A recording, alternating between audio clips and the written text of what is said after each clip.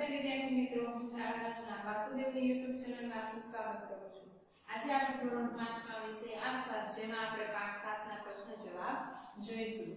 બરાબર? એમાં પાઠ છે એ પાણીમાં પ્રયોગ.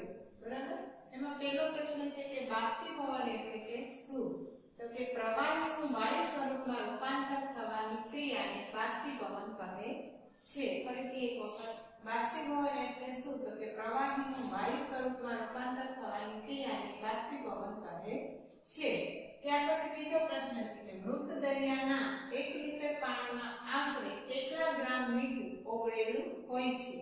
મૃત દરિયાના 1 લિટર પાણીમાં આશરે કેટલા ગ્રામ મીઠું ઓગળેલું હોય છે? તો જવાબમાં તમારે લખવાનું, મૃત દરિયાના 1 લિટર પાણીમાં આશરે 300 ગ્રામ મીઠું ઓગળેલું હોય છે. કેટલામાં એક લિટરમાં કેટલું હોય છે? તો કે 300 ગ્રામ. તો એવું તો કેટલા લિટર હશે? તો કે ઘણો હોય. 1 લિટરમાં કેટલું હોય છે? કે 300 ગ્રામ મીઠું હોય છે. બરાબર? ત્યાર પછી ત્રીજો પ્રશ્ન છે કે પાણી ઉપર તરતી વસ્તુના નામ લખો. તો આ સાવ ઈઝી છે અને આ પ્રયોગ તમે ઘરે પણ કરી શકો છો. કે પાણી, એક પાણીનું ટબ ભરી લેવાનું છે અને થોડીક વસ્તુ લેવાની છે. તો પછી જોવાનું છે કે કઈ વસ્તુ તરે છે અને કઈ વસ્તુ ડૂબી જાય છે. તો પાણીની અંદર તરતી વસ્તુઓ, તો કે લાકડું, પ્લાસ્ટિક, સ્ટીલ, રબર અને વાદળી થર્મોકોલ કાગળ વગેરે છે એ પાણી પર તરે છે. પછી ચોથો પ્રશ્ન છે કે પાણીમાં ડૂબતી વસ્તુના નામ લખો. તો પાણીમાં કઈ વસ્તુ છે એ ડૂબી જાય છે? તો આ પણ તમે ઘરે પ્રયોગ કરી શકો છો કે ટબનું પાણી ભરવાનું છે થોડી વસ્તુ લેવાની છે અને એમાં એ બધી વસ્તુ એક એક કરીને નાખી અને જોવાનું છે કે લાકડાનું કટકું નાખ્યો તો એ કરે છે કે ડૂબી ગયું છે વાસણમાં ડીશ સ્ટીલની નાની હોય તો એ નાખવાની તો જોવાનું કરે છે કે ડૂબે છે. ખીલી નાખવાની છે. એવી રીતે બધી વસ્તુ છે એ અલગ અલગ રીતે એક એક એક એક કરીને નાખી અને તમારે જોવાનું છે કે આ વસ્તુ તરે છે કે ડૂબે છે. તો પાણીમાં ડૂબતી વસ્તુના નામ લખો.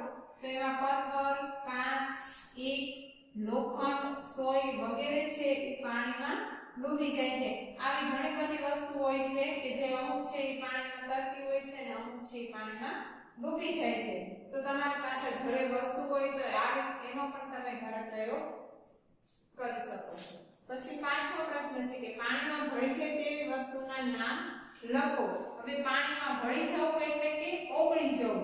તો કે પાણીમાં કઈ કઈ વસ્તુઓ ઓગળી જાય છે એટલે કે ભળી જાય છે. તો કે મીઠું, ખાંડ, ગોળ ધોવાનો સોડા, મીઠ, દૂધ વગેરે પાણીમાં ભળી જાય છે. ભળી જવું એટલે કે ઓગળી જાય છે. ત્યાર પછીનો છઠ્ઠો પ્રશ્ન છે કે પાણીમાં મીઠું ઓગળે છે. આમાં મીઠું શું કહેવાય? છે. આ પ્રશ્ન ફરીથી સમજાવું કે પાણીમાં મીઠું ઓગળે છે. આમાં મીઠું શું છે? બરાબર?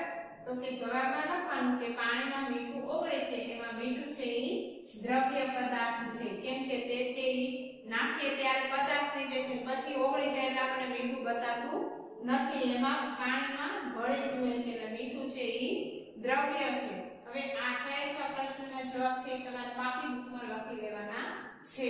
ફરી મળીશું નેક્સ્ટ લેક્ચરમાં થેન્ક યુ